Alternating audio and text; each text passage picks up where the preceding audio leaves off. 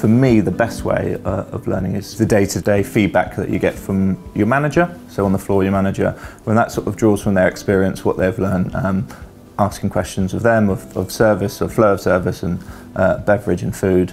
And also we have champions. So we have beverage champion, which is a person in each site that we've promoted to be really great at beverage and they'll have lots of answers to questions. We also do really unique masterclasses and we get real experts in their field, suppliers that we work with to come and deliver a bespoke masterclass to anyone who wants to join. And thirdly, we do um, smaller sort of in-house tasting, so in a briefing, chef will cook a dish uh, and then a sommelier or the manager will then pair it with a, a beer or a wine. And then fourthly, we do supplier visits as well. So these are visits we'll go and see, say, Sharps Brewery or Harbour Brewery, or really good ones to go up to see Camel Valley where they make amazing English sparkling wine. It really sort of brings it to life and it's, it's really great to then recommend to our, for, to our guests because it is local, it's delicious and it goes with, brilliantly with all our food, so it's a really good one for us to do.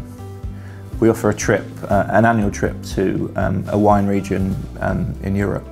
You really, it really comes alive when you go to this region. You sort of, you're, you're taught about it. You look at maps, you look at books. But once you're there, once you're there, you really, really understand it.